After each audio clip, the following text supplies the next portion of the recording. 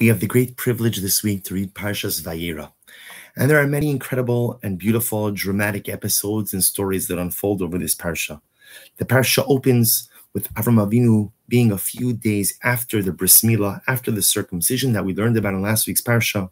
He's sitting by the entranceway of the tent, and who comes to visit him? None other than HaKadosh Baruch Hu, none other than the Ribono Shel Olam, God himself, comes to do the mitzvah of Bikur Cholim. But Avram Avinu, the man of Chesed, sees a need. He sees three strangers kind of walking around a bit aimlessly, realizes that they need a place to eat, they need a place to sit. So he runs out and invites them in for some special Avram Avinu hospitality. But these three men, of course, turn out to be no ordinary three men, but turn out to be three angels, three malachim. Angels sent to Avram Avinu's tent with a very specific mission. One, to heal Avram from, from the pain of the bris milah.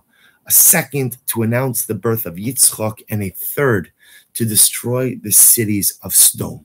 And after the meal is over, the angels begin their journey to the city of Sedom. And it is then that Avram Avinu stops HaKadosh Baruch and he says, Wait, Ribono Shel Olam, you've told me what you're going to do to Sedom, but I beg of you, don't destroy the whole city. It has to be that there's someone righteous. It has to be that there's someone good. And Avram begins a long and protracted bargaining process with Hashem. If there are 50 righteous people, 40 righteous people, 30 righteous people, but by the time the negotiations come to an end, it becomes abundantly clear that there are no righteous people in the city of Sedom. Avram Avinu realizes he has no ability to sway, to change HaKadosh Baruch Hu's mind. And so the Malachim continue on to Sedom with their task of destroying the city. But not everyone is to be lost. Lot, the nephew of Avram Avinu, together with his family, or at least parts of his family, are saved from the city of Sedom are rescued and are able to re-begin, or I should say, start a new chapter of their life outside of the city of Sedom. Torah tells us then about other famines that occur within Eretz Canaan. Avram Avinu forced to relocate to Gerar, where he has a run-in with Avimelech. Then he has run-ins with Avimelech's shepherds, and then we come to the end of the parsha, where we have perhaps one of the most dramatic stories, the story of the Akedah the story where Hashem tells Avram Avinu, take your son, your only son, the son that you love, Yitzchak, and offer him up as a korban. And Avram Avinu is ready to do so. Avram Avinu is ready to go ahead and offer up his one and only son. And in the moment when Avram Avinu is about to shecht his son, the divine voice comes out and says, Atishlach yadcha lanar. Avram, do not do anything to the child. This was a test. And Avram Avinu passes the test a willingness to listen to the word, to the command of Hashem, no matter how difficult, no matter how overwhelming. And there are many beautiful lessons to be learned from this week's parsha. We learn about the importance of chesed, about the importance of taking care of other people. Avram Avinu, although he was not in the best, best state of health as a result of the bris, nevertheless, he looks around and is attentive, pays attention to the needs of others. He sees three people who are nomadic, who have no place to go. And even though he's old and he's in pain, he runs after them to invite them into his home. This teaches us an incredible lesson because we all know the value of chesed, the importance of doing acts of kindness for another person. But sometimes we only do chesed when we're in the right frame of mind to do so. When everything is okay in my life, is when I'll take care of the needs of the other. But if not, everything is in order for me, then I'm not going to put myself out for the other, but that's not what it means to be a Baal Chesed.